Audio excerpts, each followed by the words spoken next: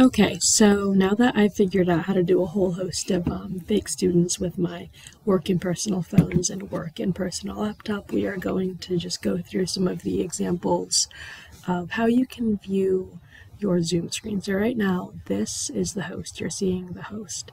Now, this is my gallery view. If you imagine, um, you know, 8, 9, 10 more students, 20 more students, versus gallery view, it shows the person who was talking. You are probably familiar with these.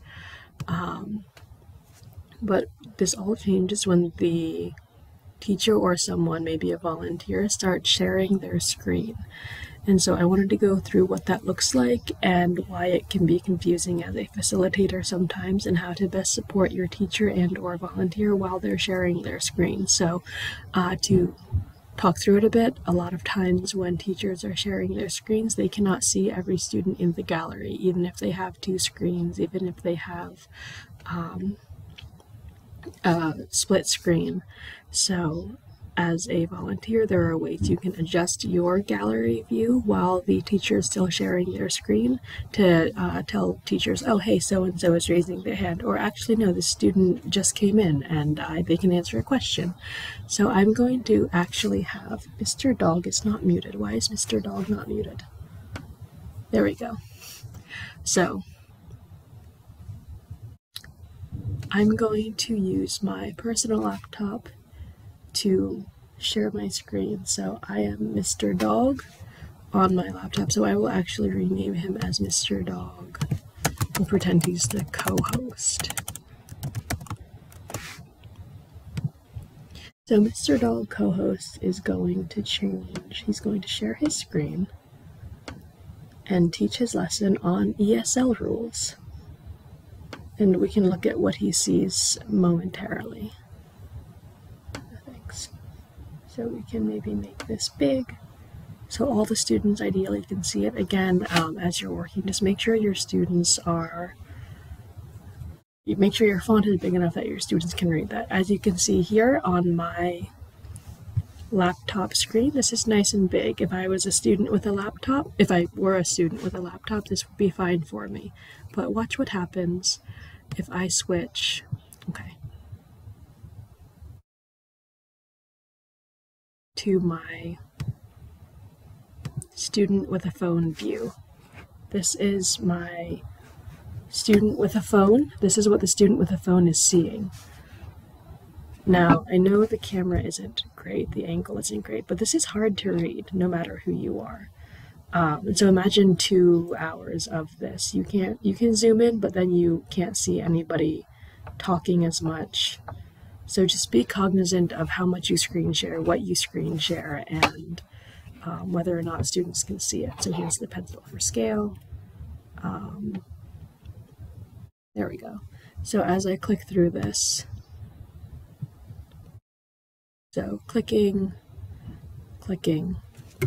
So this is a calendar as you can see here, no problem. But my student with a phone over here, like that's kind of hard to see the days and especially this little font that shows Mondays, Wednesdays, Sundays. So, which I know it's hard to see because you're going through like three different cameras to view what your student is viewing. But just keep in mind it's very difficult for students to see. So now let's watch what happens. So this is what students on a computer see. This is what students on a phone see. Now if the teacher starts writing, let's say I want to type in birthday. This is someone's birthday, maybe on the 27th of the month. So to me as the teacher, that looks fine. Or for anyone on a screen, on a computer screen, that looks fine. But to someone on a phone, again, that's very hard to see.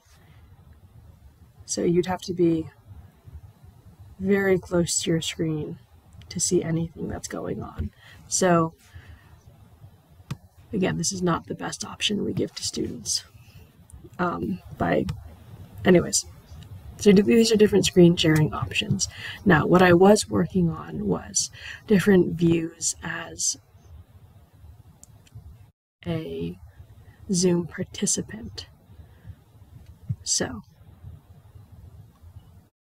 to reiterate, this screen that you're seeing a recording of right now is watching the screen share from this slideshow. So I can see all of these participants here, but the person screen sharing, the teacher, cannot. So if you're the volunteer, you have the option to drag this to be much bigger so you can see all of the students. And you don't really need to see the teacher going through this slideshow because you can understand what they're narrating versus the students who cannot understand everything that the teacher may be saying might not. So if you can keep an eye on your students here and say, oh, I think Miss Cat has a question, that might be helpful. So just different ways you can toggle this screen. You can also, so this is called side-by-side -side gallery. So you have screen share on one side, gallery on one side, side by side speaker on another. So you can see Mr. Dog is the speaker. He is um, side by side to his PowerPoint. You can make his PowerPoint smaller, you can make him smaller, Mr. Dog. So, or whoever is actively speaking. Now, the standard view is, sorry, there's people walking in the hallway. So this is the standard view. We will swap. So standard view of seeing the shared screen and the speaker, standard view seeing the shared screen and the participants or the gallery. Some teachers try and use this view to teach and keep an eye on their students, but as you can see, they can't see much of their PowerPoint. So that's uh, another way you can kind of lend them aid Okay, so standard view versus if you want to see the speaker and then whatever they're talking about, you can swap it, swap it back. If you want to see all of, wow, that's too many things. Okay, so switching back, and if you want to get out of standard view and back to the side-by-side -side panel view, you can either click here, side-by-side, -side, or you can go up to view options and do side-by-side, -side, click off, click on. So that's standard versus side-by-side -side mode. So if you followed that at all, good for you. If not, at least now you know where some of the options are to start experimenting, and hopefully this was kind of helpful. So I'm going to stop Mr. Dog from sharing. I kicked him off because he's not the host, and then I'm going to pause my video and then end the meeting. So thank you for sticking with me.